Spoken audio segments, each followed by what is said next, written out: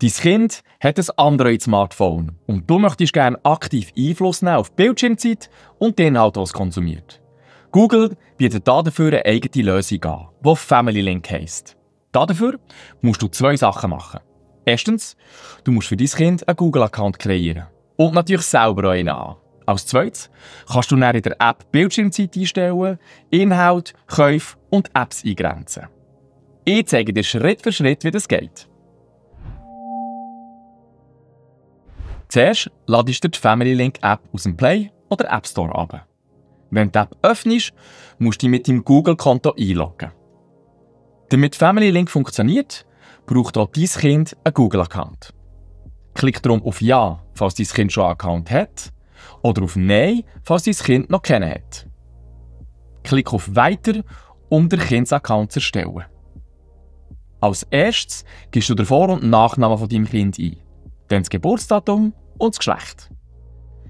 Jetzt kannst du zuunterst eine neue Gmail-Adresse erstellen. Da schon viele Gmail-Adressen vergeben sind, musst du vielleicht ein paar Optionen ausprobieren, bis du eine findest, die noch frei ist. Hast du das geschafft, kannst du ein sicheres Passwort für dein Kind erstellen. Mache ein sicheres Passwort, das ihr euch beide merken könnt. Hinterlegt es am besten in einem Passwortmanager, damit es nicht verloren geht. Mehr zum Thema sichere Passwörter findest du unter dem Link in der Beschreibung. Jetzt liest ältere Informationen von Google genau durch und du bestätigen, wenn du damit einverstanden bist. Klick auf Weiter, um mit der Kontoeröffnung weiterzumachen. Falls du noch kein Zahlungsmittel hinterlegt hast, musst du es machen, um zu beweisen, dass du die erziehungsberechtigte Person bist.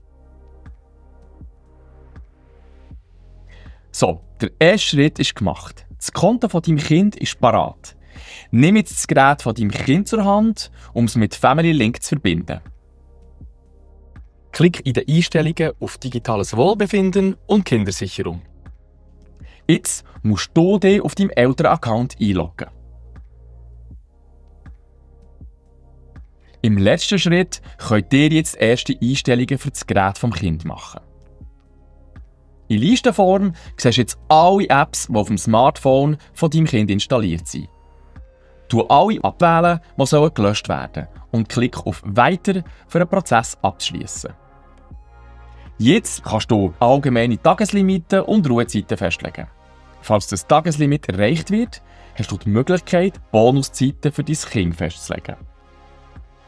Unter Inhaltsbeschränkungen kannst du für verschiedene Google-Apps festlegen, was alles sichtbar ist. Besonders wichtig ist da YouTube und Chrome, wo du kannst festlegen dass dein Kind nur altersberechtigte Videos und Suchresultate kann sehen Wenn dir die Abmachung getroffen hat, kannst du unter Kontoeinstellungen auf Standorteinstellungen klicken, um den Standort vom Gerät von deinem Kind mit dir zu teilen. Um eine Übersicht über die Gerätenutzung von deinem Kind zu bekommen, kannst du in der App auf den Reiter Top-Aktivitäten klicken.